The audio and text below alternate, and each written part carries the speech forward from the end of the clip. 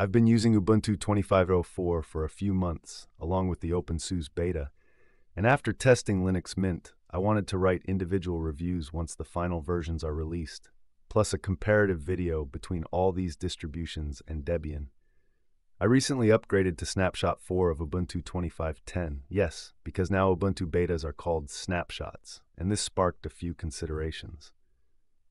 This isn't exactly a review. It's more a reflection on Ubuntu 25.10 and the trajectory that Canonical itself is taking.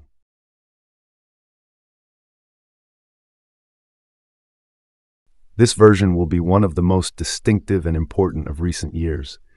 It already brings many new features and some truly important and often questionable technical and design choices. I place first, in equal measure, the choice to adopt an unstable kernel in the release. A year ago, Ubuntu developers had announced that the distribution would release with the latest development kernel. In this case, for Ubuntu 25.10, questing Quokka, it will be kernel 6.17 in release candidate, a kernel still unstable for a couple of weeks before reaching the final release. Another gem is the choice to replace sudo with a Rust-based version and the introduction of Rust libraries by default. The Rust 8-lib package is described as part of the Hardware API project, owned and developed by the Canonical Hardware Certification Team. It will be used by Ubuntu Pro Client to retrieve information about the machine and check its certification status. But there will also be the possibility of advanced encryption. Ubuntu 25.10 will make it easier to use hardware-backed full-disk encryption integrated with a trusted platform module, strengthening the distribution's security story though still only as an experimental feature. A new default terminal emulator will be introduced. It will replace GNOME's. Ptyxis is billed as a terminal for a container-oriented desktop, allowing users to easily save and access container setups with support for Podman, Toolbox, and DistroBox listed on its FlatHub store page. It leverages the GTK4 VTE library with GPU acceleration wrapped in a modern GTK4 libadwaita interface with all the advantages this brings, like accent color integration, keyboard shortcuts, and a slick zooming tab overview. Beyond that, it has a stack of additional features that will appeal to all kinds of terminal enthusiasts, not just those who routinely work with containers on the Linux desktop. Pinned tabs and saved sessions, customizable color palettes, profiles with container integration, foreground process tracking like sudo and SSH, transparent terminal background support, configurable keyboard shortcuts, and a terminal inspector. Tabs also run within separate C groups for better resource management. It's interesting to note that the creator of Ptyxis, GNOME developer Christian Hergert, observes that his app is probably not the fastest thing out there, but close enough that other features have more value. The GNOME image viewer will also be replaced with Loop, a GNOME Core app. It's a GPU-accelerated image viewer built in Rust and GTK4 libadwaita, using Glycin for loading images and metadata, and it also offers basic editing like crop, rotate, and flip. Loop's minimal UI makes the image the prime focus, with on-canvas controls that let you page between images and zoom, touch-friendly with smooth animations on touchpad or touchscreen. I had the perception, using Ubuntu 25.04 and this series of betas, of facing a polished project, exceptionally packaged, but it delivers a user experience that is mediocre, banal, bland. Everything works so-so, everything is recognized, all software is there and installs, but performance is questionable and bugs are everywhere, not only in this version but also in the stable one. The technical choices all converge toward this vision.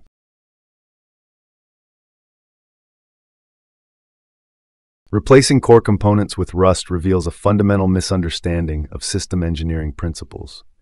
Replacing sudo, a component that has worked flawlessly for decades and has been scrutinized by thousands of developers, with sudo rs represents the antithesis of the Unix philosophy. If it ain't broke, don't fix it. The paradox is evident. Rust was born to solve memory safety problems in contexts where performance and security are critical. Browsers and kernel space, but applying it systematically to already mature userland components is engineering driven by hype rather than real risk analysis. The attack surface of sudo doesn't reside in its language characteristics, but in its configurations and the system's permission architecture. Canonical is committing the golden hammer error, having Rust as a new tool, every problem becomes a nail to be hammered. It's a form of cargo cult programming that confuses language modernity with architectural solidity.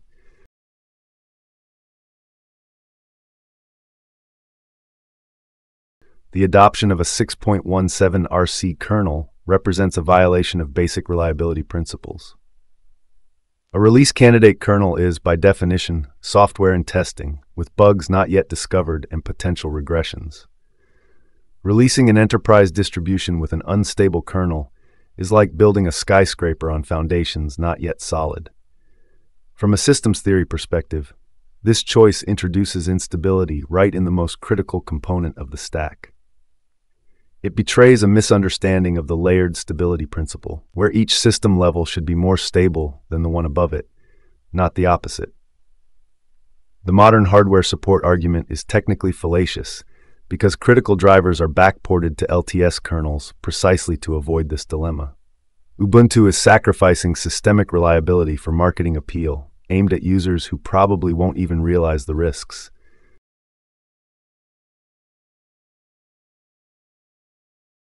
Snap represents the negation of modular Unix principles. While the Linux ecosystem has evolved toward increasingly granular and efficient packaging like Flatpak, AppImage, Nix, Canonical, has chosen proprietary vertical integration. From a software architecture perspective, Snap introduces redundant abstraction layers that worsen performance without offering real advantages over alternatives. Loop mounting hundreds of Squash FS is an anti-pattern. It wastes resources and degrades user experience. But the most pernicious aspect is lock-in. Snap is not just a package manager, it's a control system that centralizes software distribution in Canonical's hands, the technical equivalent of Microsoft's Windows Store strategy, masked as open source innovation.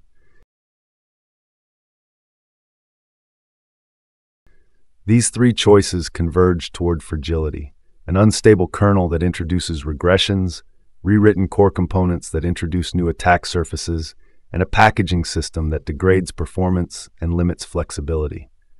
From a reliability engineering perspective, Ubuntu 25.10 is a case study in how not to design a production operating system. It's the victory of marketing strategy over engineering competence, of branding over technical substance.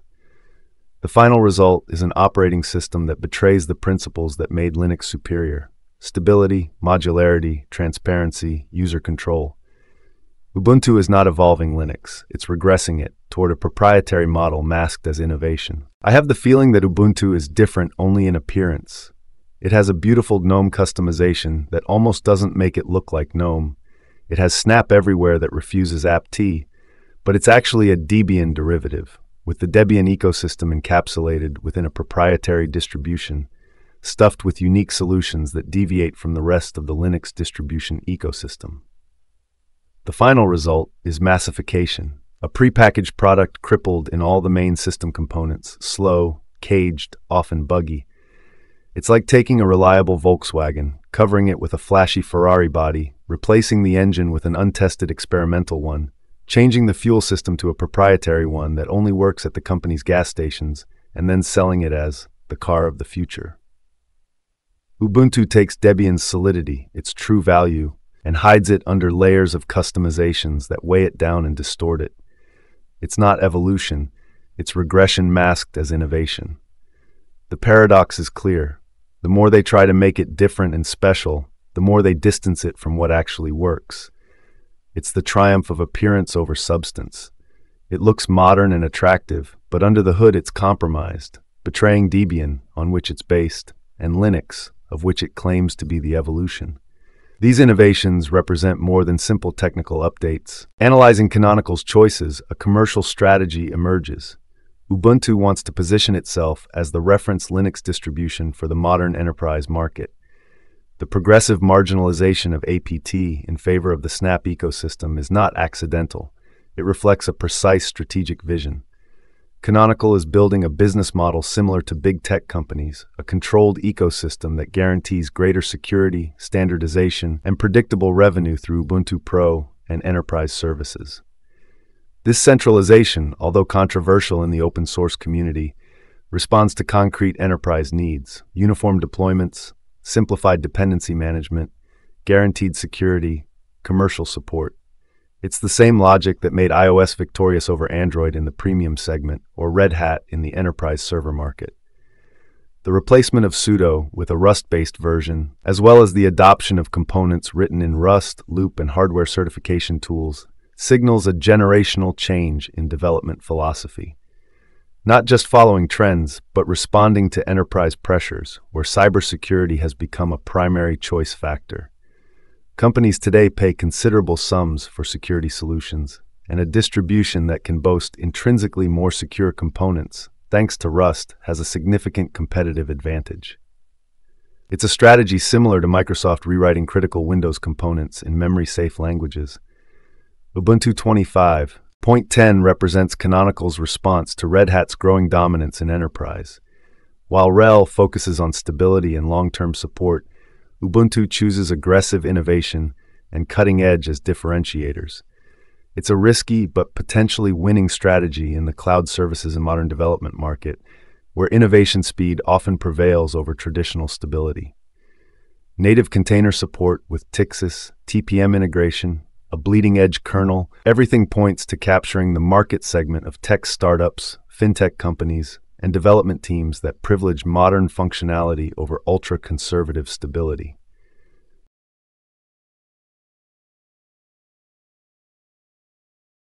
Canonical is transforming Ubuntu from a simple free Linux distribution to an integrated platform for modern computing. The model includes a free base to attract developers and small companies, value-added services like Ubuntu Pro, Landscape, enterprise support to monetize, a controlled ecosystem with Snap Store to guarantee recurring revenues, and hardware certifications for strategic partnerships with OEMs. Ubuntu no longer competes with Debian or Arch for the heart of traditional Linux users. It aims at the much broader market of companies that want to modernize their IT infrastructure without the costs and complexity of traditional enterprise solutions. It's the prosumer of the enterprise world, more sophisticated than Windows, less expensive than Red Hat. This trajectory involves significant risks. Alienating the traditional Linux community could deprive Ubuntu of its main competitive advantage, bottom-up innovation, and community feedback. Moreover, direct competition with giants like Red Hat and Microsoft requires enormous resources and flawless execution capability.